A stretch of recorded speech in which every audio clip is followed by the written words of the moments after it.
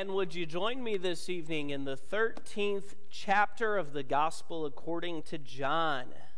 John, chapter 13. Gabe will be coming around with our note sheets for tonight's study. And so he'll make sure you get a copy of that as we begin this evening. The next step of our progression to studying what God wants for our relationships is found in this passage of Scripture, John chapter 13. Last conversations are important.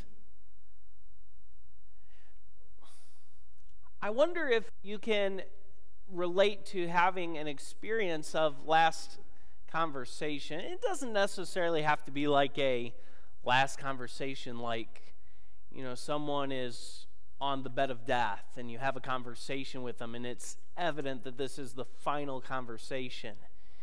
Any type of a last conversation. So, you who are parents are going somewhere or have gone somewhere with your children and maybe you're going into some type of a special event or you're visiting someone else's home and you give them some final reminders or final instructions before you get out of the vehicle and enter that home. Maybe you're on a a special trip with your family and uh, you are going into a maybe a fair let's say or into a place where there's just a lot of people and you give your children some final instructions before you go into that place, in part to help them to stay safe, to make sure they don't wander off and get lost, or to make sure they behave themselves.